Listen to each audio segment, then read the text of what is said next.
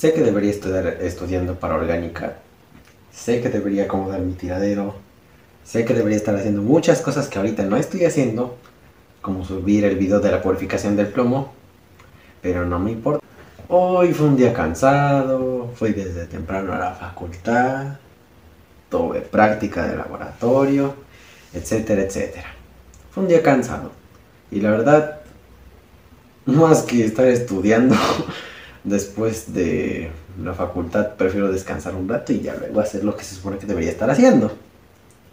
Así que quiero desahogarme hablando de un pequeño tema. El trabajo en equipo. ¿Quién no ha hecho un equipo para cualquier materia y tienen que hacer un trabajo entre todos?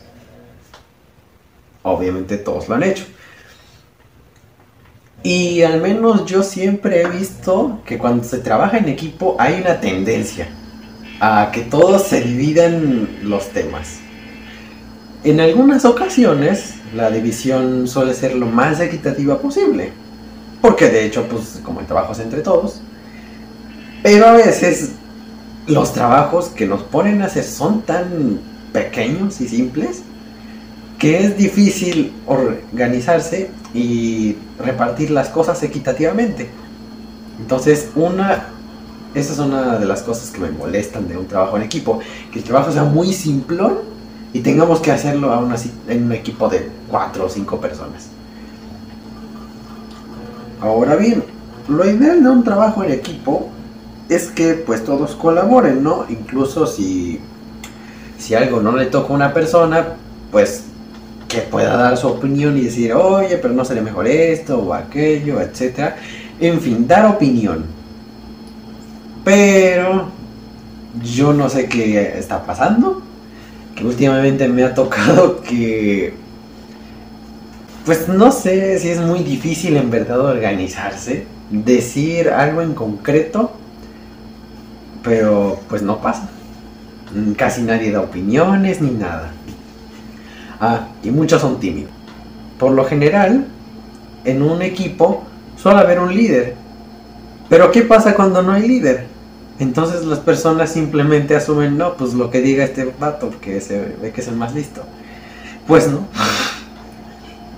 Lo que yo pienso, pues es que todos deberían aportar lo propio sin tener que esperar algún comentario de alguien. Que sean autónomos, en otras palabras.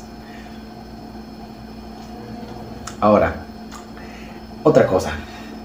Al menos en mi experiencia, me ha sido tremendamente complicado trabajar en un equipo para los laboratorios de química. En la preparatoria, pues estuve con un equipo que la verdad mm, no me acuerdo si yo escogí, pero pues ahí estaba. Y yo no sé si es que no estaban muy interesados en lo que estábamos haciendo, pero pues no vi que pusieran mucho de su parte. Era muy complicado porque parece que ni siquiera entendían lo que debíamos hacer. Entonces había una revoltura. En primer lugar, precisamente por eso de no entender la práctica, que es algo que me frustra mucho, lo que yo considero que debería hacerse es que antes de entrar al laboratorio tenemos que leer la práctica. Por eso nos la envían por anticipado los maestros. Ahora bien, no basta simplemente con leer la práctica, también hay que entender el por qué. Por eso las prácticas tienen objetivos. Entonces hay que tener en mente el objetivo y aparte darle sentido a la práctica para cumplir ese objetivo. No estamos haciendo prácticas nada más por cumplir, estamos buscando comprender algo. Porque me ha tocado ya muchas veces que los compañeros nada más van al salón a leer la práctica, ahí mismo en el salón. Y pues bueno, se hace un, un. Otra cosa, yo no sé también por qué está pasando, pero en la facultad es costumbre que el maestro llegue, diga lo que vamos a hacer, o sea, pese a que ya nos había enviado la práctica y se supone que ya la debíamos haber leído, pero aún así la explica paso por paso y a mí me frustra mucho porque, o sea, solo tenemos de, bueno, por ejemplo, yo tengo de química inorgánica dos horas de laboratorio, entonces a veces se consume 15, bueno, no, antes de entrar se consumen como 10 o 15 minutos, luego durante la explicación se piden otros 15 minutos, entonces ya son como media hora de laboratorio perdido. Y por ejemplo, en otra materia como orgánica, pues hay todavía de que las prácticas se todavía de que las prácticas son tardadas, también las explica el maestro, aunque ya las debíamos haber leído. Y ahí... Iba a decir, y ahí puede que sea comprensible que los compañeros lleguen sin haber entendido la práctica. Pero no, es que no nos, no nos enviaron la práctica un día antes, dos, tres, cuatro, cinco, seis, ni siete. No. Ya lleva tiempo de su vida y aún así, pues no. Entonces considero fundamental entrar al laboratorio con la práctica ya bien comprendida. O si surge alguna duda, no se tímide y preguntarle al maestro. Porque ya sé, es muy común que incluso, bueno, que desde chiquitos hasta grandes, los adolescentes, si es que me puedo considerar adolescente, son o somos muy tímidos para preguntar. Pero pues ni modo, no hay que preguntar no hay de otra. Hay que recordar la siguiente expresión. El que pregunta no se equivoca, porque no está afirmando ni negando nada. Está buscando aprender algo. O comprender algo. Oh, Dios mío, yo era el punto más odioso todo. Para el laboratorio de química, yo considero muy importante usar el vocabulario apropiado. No me refiero a que digan este, puras palabras santas y no groserías. Me refiero a que llamen las cosas por su nombre. Por ejemplo, ah, sí, este es el vaso de precipitados, este, pásame el tubo de ensayo, mm, tenemos que añadirle más hidróxido de sodio al matraz del Meyer, cosas así en lugar de que digan expresiones como, no, pues pásame el este. ¿El este cómo se llama? ¿Qué es el este? Yo no entiendo esa parte. También considero muy importante haber comprendido antes la práctica y contrastar con los otros compañeros, porque si no luego surgen confusiones a la hora de hacer el procedimiento, porque no se cercioraron antes de que todos estaban en la misma sintonía. Entonces unos confunden el recipiente A con el B entonces creen que lo que tienen que hacer con el B es lo que tienen que hacer con el A y no es así. Entonces también eso es algo que me perturba, que no usen el vocabulario y no se puedan poner de acuerdo para el procedimiento que hay que seguir. Ah, en fin, pues. Bueno, y reconozco que, bueno, para empezar voy a decir que esta es mi mera opinión. No estoy diciéndole a nadie lo que debe hacer. Solo estoy diciendo, por mis razones, lo que yo considero que debería hacerse. Porque reconozco que yo también he tenido deficiencias en el trabajo en equipo. A veces, este... Bueno, trato de que no ocurra. Que quizá por un poco de orgullo y por mi propia experiencia, intento hacer un procedimiento de esta forma y para los otros puede que, bueno, no puede. Más bien me dicen que no, hay que hacerla de la otra forma. Pero yo por necio, a veces digo, no, no, ya sí. Y pues no, no sale. Lo reconozco. Pero a veces hay algunas ocasiones en las que yo les digo, no, pues creo que sería mejor hacerlo de esta forma, por X motivos. Y a mí me frustra mucho que no me escuchen, que me haga un lado, porque dicen, no, no, así está escrito en la práctica, así hay que hacerle, bla, bla, bla, bla, bla, bla. No me gusta que me hagan menos. Y por eso cuando al final terminamos haciendo las cosas como yo dije que, que las hiciéramos, digo, pero nunca me escuchan.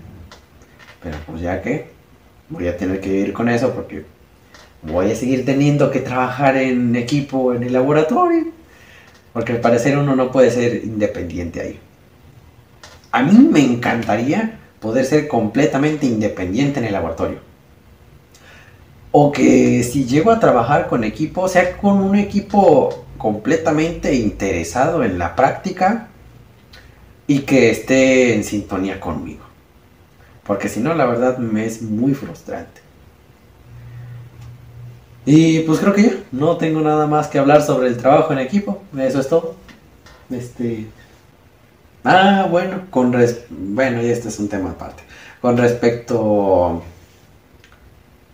al video sobre la purificación del plomo, yo creí que iba a ser muchísimo más sencillo porque solo era filtrar una disolución y evaporar, eh, bueno, filtrar la disolución, electrolizarla y ya debería haber tenido plomo puro.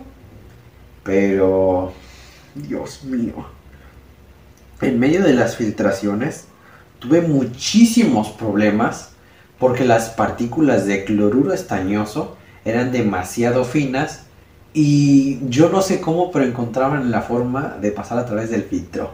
Filtré con papel de baño, filtré con algodón, incluso filtré con arena y aún así lo último que tengo de disolución de cloro plumboso ya está muy pura, pero todavía tiene algo de cloruro estalloso y ya estoy harto, o sea, ya estoy reconsiderando si mostrarles todo el proceso que hice para filtrar la mugre y disolución, porque literalmente es como una hora con 45 minutos de grabación. Yo no sé si voy a editar todo eso, porque aparte ahorita no tengo mucho tiempo.